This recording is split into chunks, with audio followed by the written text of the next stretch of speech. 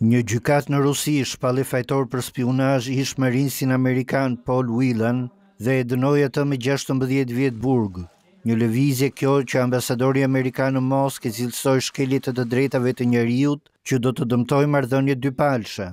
Whelan, që zotëron gjithashtu pasaportë britanike, kanadeze dhe irlandeze, u arrestua nga agjentë të FSB-së ruse në Moskë në një dhomë hoteli më njëzet e tetë dhjetor dy mijë e tetëmbëdhjetë.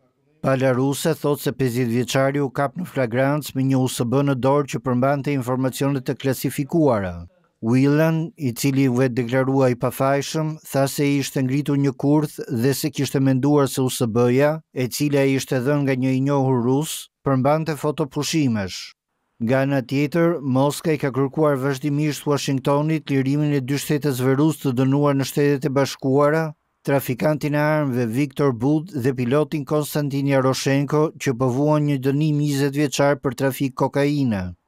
Whelan do ta shlyejë dënimin e tij në një burg të sigurisë së lartë. Gjyqi i tij u zhvillua me dyer të mbyllura për shkak se sipas autoriteteve ruse, kishte të bënte me diskutimin e sekreteve shtetërore. Prokurorët, që e akuzuan të pandehurin se kishte gradën e kolonelit në radhët e Shërbimit Sekret Ushtarak Amerikan, kishin kërkuar një dënim prej tetëmbëdhjetë vjetësh.